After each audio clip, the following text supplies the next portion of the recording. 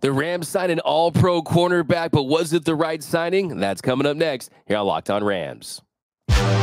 You are Locked On Rams, your daily Los Angeles Rams podcast.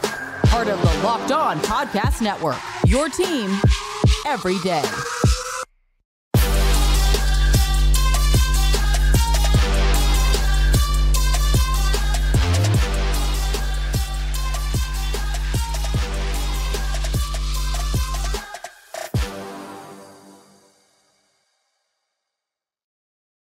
What is up, Ramily? And welcome to another episode of Locked On Rams, your daily podcast covering your Los Angeles Rams. Free and available wherever you get your podcast. Locked On Rams, part of Locked On Podcast Network, your team every day. We're also available over on YouTube. So if you haven't yet, do us a huge favor and subscribe to Locked On Rams YouTube channel. And also drop your reaction to the Rams signing Tre'Davious White. Let us know down below. My name is Doug McCain. You can follow me on X and Instagram at DMAC underscore LA. I've been covering LA sports for over a decade. SI 24 7 Sports, Dodgers Nation, the Rams 4 locked on. And as always, I'm joined by the Rams pre half and post game show host for the Rams flagship radio station, ESPN 710 LA. He just finished his eighth season covering your Los Angeles Rams, the people's champ, Mr. Travis Rodgers. You can follow him on X at Travis Rodgers. And on today's show, the Rams sign an impact corner. We're going to break down the signing of Tre'Davious White, the cap space they have now, what's next for the Rams. But first, this episode of Locked On Rams is brought to you by Game Time. Down the Game Time app, create an account, and use code Locked On for twenty dollars off your first purchase. All right, Travis, let's get right into it. Another big signing for the Rams as far as the role he's going to have for this team. It was reported by ESPN's Adam Schefter that the Rams have signed Tre'Davious White to a one-year deal worth a base of eight and a half million and a max of 10 million. The mm-hmm. team, of course, needed to address that cornerback spot. You did it with Darious Williams. You have Tre'Davious White. You got two impact outside cornerbacks. And really, the only downside of this is he has dealt with some serious injuries yeah. over the last couple of seasons. But before that, a top five cornerback, a high risk move, but also a high reward, too. Look, th- this is get ready, everydayers. You know what's coming, right? You know what I'm going to say. This is Aaron Donald related. Mm-hmm. this is Aaron Donald related. That the pressure that's going to be able to deliver on the opposing quarterback by the Rams is going to be way different than it has been for the last 10 years and by different i mean worse. And by by it's just not going to be as consistent that everybody that was getting single teamed before is now going to be single or doubled almost every single time. That aaron donald took so much off of everyone else's plate that you didn't have to cover for a very long time. And that if you were a player you know t- take your pick whether it was michael brockers and Ndamukong Suh any of the other people that have been opposite of Aaron Donald, Kobie Turner, uh, Byron Young, any of these guys, Leonard Floyd, Von Miller, any of them, right? They were going to be able to go do what they needed to do. The quarterback was under tremendous pressure by the time he stepped up to the line of scrimmage. And now that won't be true or nearly as true, which means your corners need to be better, right? This is why Darious Williams is back. This is why Tre'Davious White is here because you're going to need guys that are better in coverage longer. And White certainly checks that box. If he's healthy, this is a great signing. If he's able to play at the the, the best version of Tre'Davious White, that's really good news. Same thing for Darious Williams. But like most things that are going to run through this Rams defense over the next, you know, months, if not longer than that, this is Aaron Donald related. And I think that if he stays healthy is 100% true, but also it's how is he going to respond to that Achilles injury? How mm-hmm. quickly will he look like the guy that was a Pro Bowler, someone that was a top three cornerback really in this league? So the high upside is there. We know the Rams like going that route, but he missed six games in 2021, 11 games in 2022, 13 games in 2023. Now, of course, Dr. Neil ElAttrache, the Dodger, the Rams and Dodgers also, a team Everybody. doctor. Really, I know he's the top guy in the game. He yeah. performed the surgery so you feel good about that. But look, this is a one year deal. If it works out, great. They need it to work out, absolutely, for this team to have success for sure. But if it doesn't, worst case scenario, you lose eight and a half million dollars. It's not the worst thing in the world. I think it was worth the gamble. Is Les Snead going to roll snake guys? Hopefully he doesn't. But if he hits on this, you have yourself a top level cornerback on a pretty cheap deal because he was injured because he's coming back from that. So for me, it's how quickly does you return to form coming off that? And I look at the cornerback position now. You don't have those young guys, the Derion Kendrick. We'll see what happens with Cobie Durant, the role he has next season. Now you have two guys that are veteran, proven quarterbacks in this league, where if they play to their skill level, to their ability, you got two guys you can trust at the position. Well, a couple of things here, right? No, number one, I, I, think you're right. The risk for this is pretty low. This is a one time or a one year deal, I should say. And if it hits, great. And you got an opportunity to go win some games. You got yourself a really good player. And if it doesn't, oh, well, you're out from underneath it in a single year and you can go look for the next guy. I think there's going to be a lot of that. Number two for me is this singles, I, I think to me, that they're in that win now mode that they've been in for such a long time. That this is not a, a this is a veteran player. This is a veteran player who has a, a lot of upside. We've seen him when he's healthy, how good he is. But like you just mentioned, that's three years in a row where he's missed not only significant time, but a ton of time along the way.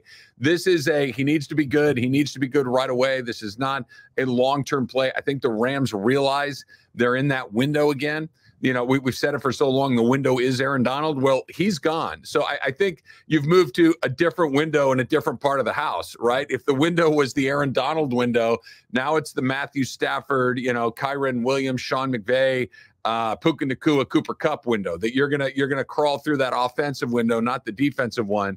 Um, but again, this is a, this is a short term play that I think speaks to the Rams' belief that they are close to being one of the better teams in the NFC and they're shooting their shot. And, and, and I like it. Look, th- this could be one of those he never even gets on the field, or when he does, it doesn't look good. That's that's definitely on the table. But I like it for the simple fact that it kind of indicates to me that they think they're close, which makes me happy.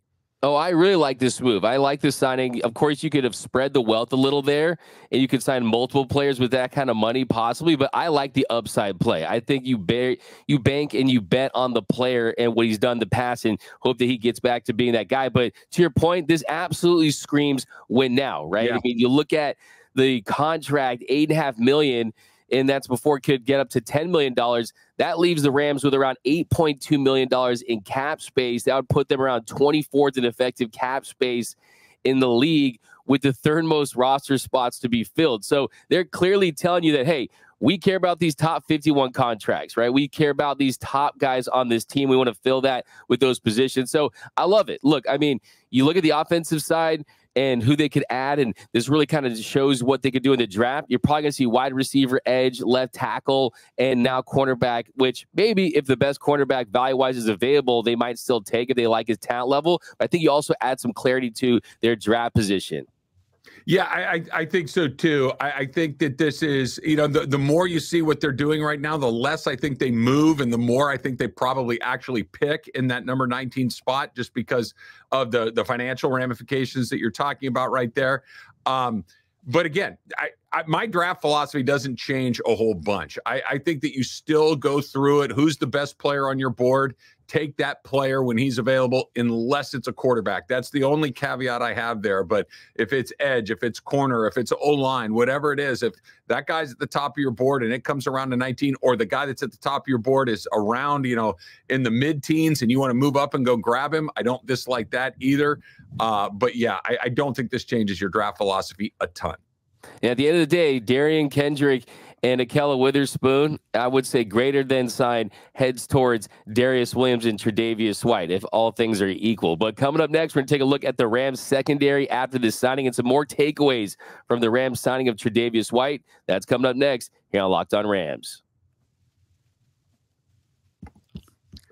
Say goodbye to your busted brackets, right? Adios, busted brackets, because FanDuel lets you bet on every game of the tournament. Here we are getting ready to roll out the Sweet 16, right? So whether you're betting on another big upset or you like the chalk, you like the number one seeds, it's time to go dancing on America's number one sportsbook because right now, new customers, you get 200 bucks in bonus bets if your first $5 bet wins. That's 200 bucks back to use on point spreads, 200 bucks back to use on money lines. You can even pick who's going to win the whole darn thing. Just visit fanduel.com slash locked on and bet on college hoops until they cut down the nets. That's fanduel.com slash locked on, L O C K E D O N. And oh, by the way, on FanDuel, some future uh, win totals are available for you right there. So go check out what you see. Maybe you like the Rams over. Maybe you're thinking, oh, they're going to have a struggle to get there right now, but that's out on FanDuel as well. But you got to go fanduel.com slash locked on. Go do it right now. And welcome back to Locked On Rams. Thank you for making Locked On Rams your first listen every single weekday, free and available wherever you get your podcast. Locked On Rams, part of Locked On Podcast Network, your team every day. And also a special shout out to our every listeners out there watching and listening to every single episode. And you guys are going to want to be prepared for this draft coming up, one of the most important drafts in Rams history. Another big draft. Okay. So you definitely want to follow the channel, subscribe, and join that Every Listeners Club membership is a 100% free, and you won't miss a thing about your Los Angeles Rams. Now, Travis, here in our second segment, a couple more takeaways from this signing. We mentioned his name a few minutes ago, and that is that Ahkello Witherspoon, he's most likely not going to be back, right? I yeah. mean, these are two outside cornerbacks. He's primarily on the outside. So that really screams that as well. Yeah, you know, th- this felt like this was how this was going to wind up anyway. That when we got into the offseason and you started seeing the Rams take care of, of some of the players that were already here, right? They go and they take care of Kevin Dotson. They go and they make a move for Darious Williams and these sorts of things. And Witherspoon was always one of those, yeah, we like him. We're going to see what we can do. They never really made that step toward him in a meaningful way that led you to believe that this was going to happen for sure. Uh, he did a good job for the Rams, right? I, I, I think that you know th- this is a player that's bounced around a little bit. I think this is just kind of his lot in the NFL that he's a good player, but not a guy that anybody really wants to sink their teeth into long term. Uh, he'll land somewhere else. I bet he starts somewhere else, but I think that his days as a Los Angeles Ram are probably numbered because when you've got a Tre'Davious White, you've got a Darious Williams, and you do have some younger guys that maybe you're still trying to develop, and a lot of these players are, are redundant. That not a ton of them are going to play inside, like you mentioned. That Witherspoon's probably the odd man out. For sure. I mean, that's just that's the case now. And look, I mean, he did great at a bargain price. Didn't yeah. love the idea of bringing him back unless they weren't able to upgrade that position. They were able to do that in this case. Another big takeaway is look, you're starting to see this Rams team. You're pretty much going traditional with the cornerback roles. You're not seeing the flexibility that you saw with Jalen Ramsey, where you could play him in the slot, play him on the outside. These are pretty much guys that are set in stone where they're at here on the outside.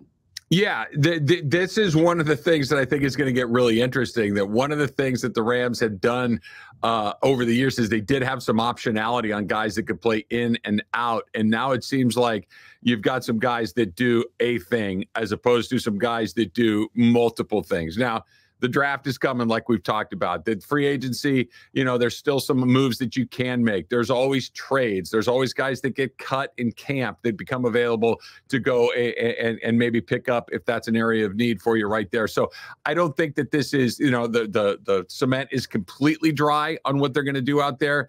But I think for now, and again, one of the things that I really like about the Rams is that they do use the trade market. They are pretty aggressive in, in, that world where not a lot of NFL teams are. So if they think that that's something that's preventing them from going to where they want to go, and we're in week, you know, four or five of the NFL season, and all of a sudden it's like, wait, they got who? That's something they've done before. A lot of teams don't really use it like that. The Rams have. And again, that's just another off ramp on the freeway that if something's not working, we can try to address it on the fly. Absolutely. And really, one of my biggest takeaways from this signing, Travis, ball skills, ball skills, yeah. ball skills. I mean, the Rams, they had 10 interceptions last season. That was the ninth fewest in the NFL. Just four of those were by cornerbacks, and yeah. three of them were Ahkello Witherspoon. Right. Okay. With White, he has 18 career interceptions in just 82 games. He had a league high six interceptions in 2019 when he was a first team All Pro. So this is someone who's basically like a receiver out there. Well, they think about like when you were talking about the number of interceptions that the Rams had. Every time the Rams would intercept a pass last year, it was almost a show. Like, whoa, whoa, yeah, whoa wow! We, we, we, it was get off the field with a punt, maybe stop somebody on fourth down, that the the takeaways were not something uh, of a strength for the Rams. So maybe that uh, White brings a little bit more of that along the way. But again, this all comes back to him being available, healthy, ready to go, getting back to that top level of, of, of ability that he has. If, if he's look, maybe he doesn't get back to 10 out of 10 like he was, but if he can get back to eight out of 10, that's probably still the best guy that the Rams have at that position on the roster. That could still be a very big upgrade. Yeah, I mean, he had four last year. He had a pick six. So, I mean, Chris Shula definitely is going to lean on these cornerbacks for sure. But I agree with you. I mean, when they got an interception last year, it was like oh, it was almost like see watching them pass the ball in the black and white leather helmet days. It was like that shocking, right? And I agree with you. I mean, I want to see some interceptions. That exciting part of the game once again. So the other big takeaway too, Rams are they're going with the vets, right? They're going with the yeah. big boys, and I think that they are starting to i don't want to say lose hope or lose confidence in some of these young guys but i don't think they're allowing them to time to develop right? As at least time for them. It's just the timeline for the Derion Kendricks the Cobie Durants right now aren't really in line with their winning in their winning window. Well, it's funny, right? Think about the other teams that we have here, you know, the the big teams that we have here in Los Angeles that the Lakers, they're never in development mode. Never, right? They, they, they're always trying to find the guy that's going to bring them the next championship. LeBron into AD, AD is going to roll into another big time player who's coming in. The Dodgers have been competing for a World Series year in and year out for the last decade or so. That e- even a team in baseball, you almost always have to to kind of take a couple of steps back at some point. They really haven't done it. I think the Rams are kind of falling into that same you know category of you know, a, a, a, air quote rebuild or a step back, it's really short term. It was last year and it wasn't that bad. And they're always trying to reload uh, the the talent pipeline. This is not a hey, look, we're going to take some time. You're always going to be a free agent destination. You've got an owner with very deep pockets. You've got a destination city that people want to play in. You've got one of the best coaches in the league. You got one of the best quarterbacks in the league. You can't really wait around and say, hey, let's let let's wait a couple years to see if these guys are good or not. You either show up good or be, you know, my, my high school baseball coach used to say this be good or be gone. And that's kind of what the, they, they have right now with the Rams. Like, you need to show up and play, or we're going to go find someone else who will. For sure. There's no doubt about that. All traces back to Matthew Stafford, too, for me. Sure I mean, all this comes back to we have a Super Bowl winning quarterback that his time is ticking on his prime and his ability to win a Super Bowl. But coming up here in our final segment, we're going to take a look at the Rams secondary after this signing. That's coming up next here on Locked On Rams. So when you're ordering tickets for your next big game, you're right. Okay, we're going to go see the Dodgers or the Kings or the Lakers or the Angels or whatever it is, and you're thinking, you know what? Oh man, I should order the tickets. I should order the tickets. You don't have to sweat it anymore because you have the Game Time app on your phone, right? Killer last minute deals, all in prices, views from your seat, best price guarantee. Game Time takes all the guesswork out of buying your tickets, right? And it's not just sporting events, which we all like. It's a it's a concert, it's comedy, it's theater events, basically anything near you. Easy to find and buy tickets for every kind of event in your area. Of course, you're going to get that view from where that seat's going to be. You're going to feel great about it as well. And it's easy, right? You get to buy the tickets in seconds with just a couple of taps on that Game Time app. Exclusive deals on uh, to right up to the start of the event, even an hour after it starts. It is the place to find last minute tickets. So if you're a procrastinator like me, Game Time is going to help you out on that as well. So take the guesswork out of buying tickets with Game Time. Download the Game Time app Create an account, use the code locked on for $20 off your first purchase. Terms apply. Again, create that account and redeem the code locked on L O C K E D O N for $20 off. Download game time today. Last minute tickets, lowest price guaranteed. And we are off running here on Locked On Rams. Thank you for making Locked On Rams your first listen every single weekday, free and available wherever you get your podcast. Locked On Rams, part of Locked On Podcast Network, your team every day. And also a reminder that Locked On has launched the first ever national sports 24 7 streaming channel on YouTube. And now it's also available on Amazon Fire TV in the free Fire TV channels app. Locked On Sports today is here for you 24 7, covering the top sports stories of the day with the local experts of Locked On, plus our national shows covering every league. Find Locked On Sports today now available on the free Fire TV channels app. Okay, so Travis, now looking at this secondary it definitely looks revamped. It definitely gives you more confidence. The talent level has been upgraded. You have more experience. And really, I think the top dog is Darious Williams, cornerback Darious Williams. I mean, he was released by the Jaguars. The Rams, they jumped back in. They brought him back to LA on a three year deal, $30 million.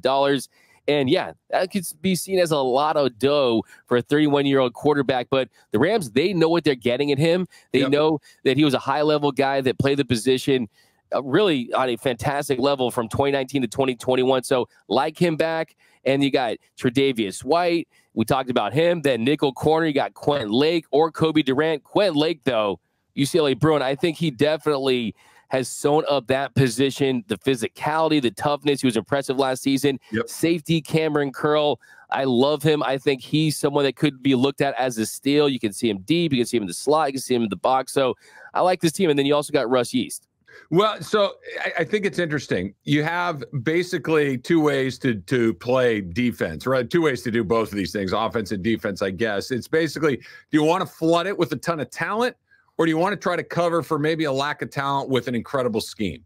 Right. Well, think think about what the Rams have right now. They've got a brand new DC in Chris Shula. So I, I don't know what the scheme is going to be. I don't know if he's the second coming of Buddy Ryan, and all of a sudden it's going to be, oh my gosh, this is the greatest thing we've ever seen, or whether this is going to be a you know a, a, typical NFL defensive coordinator that needs really good players to execute what it is that they're doing. I like hedging my bets with more talent. I like hedging the bets with better players that I know play well in this league. That's Darious Williams. That's Curl. That's Tre'Davious White. These are guys that have been around the block. You know, like Kobie Turner coming off a nice year, Byron Young coming off of a nice year, Ernest Jones has been around the block a few times along the way. So you've got some guys that have played in this league, that have had success in this league. That let's raise the the floor of the talent a little bit higher. I have no idea what the ceiling is going to be. We'll see what the scheme looks like. We'll see what the the leadership looks like, and all of those things. But at least the floor, talent wise, has been pulled up a little bit with guys like White and Williams. I, I think that's a very big deal, especially when you got the twofold of Donald leaving and a DC coming in, or not even coming in, but being promoted to a level where he's never had to do that before. You know, it, until you've done it, I don't know. I'm hopeful. I'm optimistic. If Sean McVay likes it, I love it. But we'll see, right? We, in, until you've had that job, you just never really know. But I do like that they've lifted the talent level across the board. And to your point, DMAC, specifically in the secondary. Yeah, no, I think that's a name we're going to be talking about a lot. It's Chris Shula. And Chris Shula, sure. you do not want to see your name trending. And I feel bad no. for a guy that has to have his first DC stint the year after Aaron Donald retires. Or he didn't get that, but what he did get, like you mentioned, was a secondary that has been upgraded from a talent perspective. Yes. And I think that the way that they could perform for him, it could make his life a lot easier. So have Ernest Jones back. And then kind of behind those starters, you got Tre Tomlinson. We'll see if he can take a leave. Still have Derion Kendrick, Sean Jolly, Cameron McCutcheon, Jason Taylor second, Tanner Ingle. So yeah, those young guys, they're stockpiled behind these veterans, but look, this is a improved unit. That was a big priority this offseason. They absolutely addressed it, and I think they did with flying colors. I like the higher upside guys with a higher risk. Yeah. I like the fact that the Rams go that route because look, that's the risk you take. And uh, organizations that take risks, right? uh, fortune favors the bold. That definitely is the mo for Les Snead. We're seeing that on display here once again. It's why they won the Super Bowl. Yeah, they, they, they, they took a big swing and it hit right? They, they took a big swing at quarterback and it hit. They took another big swing at going to get Von Miller and it hit. They took a big swing in bringing in Odell Beckham Jr. when a lot of people thought he was washed and done and a lunatic, and it hit. Right, you, are going to have to take some big swings at these things. And look, let, let let's kind of leave this on, on I think a positive note, which is the Rams are going to win or lose games based on the fact whether or not they can score a bunch of points. This is they're they're not winning games seven. If they have to play 17 to 14 games, they're cooked. That's not going to happen. They can play some 34 to 31, some 31 to 28s. They can win those games. So th- this team is going to be led by its offense. You got an offensive head coach. You've got an elite quarterback. You've got tons of skill players uh, on that side of the ball. The defense just needs to be good enough, and I think they're starting to put some blocks in places that it can be. Absolutely, like Babe Ruth said, I swing big. I swing with everything I got. I hit big or I miss big. That's what the Rams are doing. But that's going to do it for this episode of Locked On Rams. My name is Doug McCain. You can follow me on X and Instagram at DMAC underscore LA. And as always, you can follow the People's Champ, Mr. Travis Rodgers, at Travis Rodgers. And until next time, whose house? It's Locked On Rams house.